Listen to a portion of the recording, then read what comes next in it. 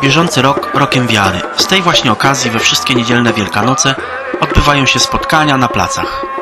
W Toruniu na rynku staromiejskim został zaplanowany kerygmat, czyli głoszenie Ewangelii i wołanie do nawrócenia.